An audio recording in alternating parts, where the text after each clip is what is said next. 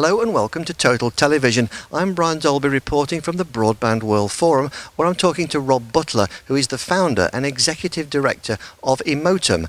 Rob, you've just given a, a fascinating talk, really warning service providers that it's now or never in terms of getting their customer service sorted. Tell us a bit about what you were, what you were saying to the audience here. Well, basically, Brian, the, the, the issue today is that with uh, prepaid cards, with the, the, ease with which you can switch operators, um, it's so easy now for a customer to actually move from one brand to another. So it's very, very important now that the brand image is actually upheld.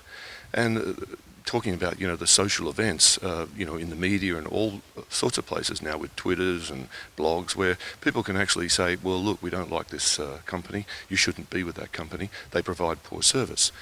But it is interesting that people want quality. They've always wanted quality. And even though they're not prepared to pay a lot of money for quality they want it. Um, what happens then is of course that you have a situation where if you don't provide the good service that's high quality then you're going to lose customers and your brand image is basically down the toilet. And considering we're a communications industry, we don't exactly have a glorious track record in customer service, do we? No, actually, that's uh, that's quite true. Basically, what you have is a situation where, in the past, uh, we supported very well um, the, the, early days of dial-up. Uh, then we found that the cost of support actually started to grow. So what they thought they'd do was they would outsource that uh, support, and then they found that that was costing too much. So they shipped it to another country, where they found that their brand image, you know, really sunk low. Uh, so they then bought it back to their own country. Then they then they bought it in house. Um, it's been all over the place, and no one really has taken enough care. The call centres are, are actually regarded as the poor cousins of an organisation and where they actually are really the only place where you confront the customers on a regular basis, on a day-to-day basis.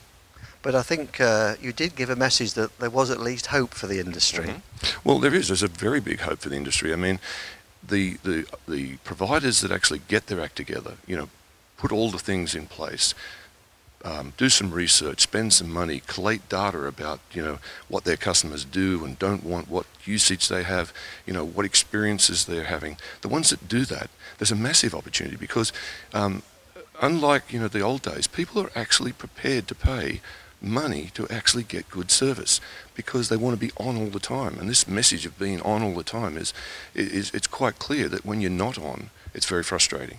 So, you know, most people I've, I've uh, uh researched with actually are very, very much prepared to pay uh, to actually get very good quality support. And this is an area that Emotum is very much involved with.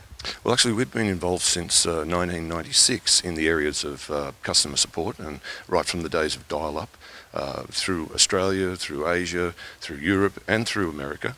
And um, it, the, the thing is that the trends don't don't really change. And one of the things I presented today was that there are lessons that should be learned, and they're rarely learned in the areas of uh, customer service and support.